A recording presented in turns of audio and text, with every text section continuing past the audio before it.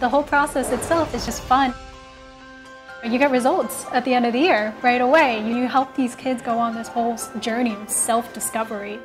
Our mission is to empower students become the most successful version of themselves. Students who like coding or want to be doctors or engineers when they're older. I wrote my application early. I spent a lot of time on the essays, more so than any other college that I applied to. Every single college that was on my list, I could see myself being, okay, yeah, I can go there. I, can, I would totally be okay going there. Every student is unique and we want to help them bring out those strengths.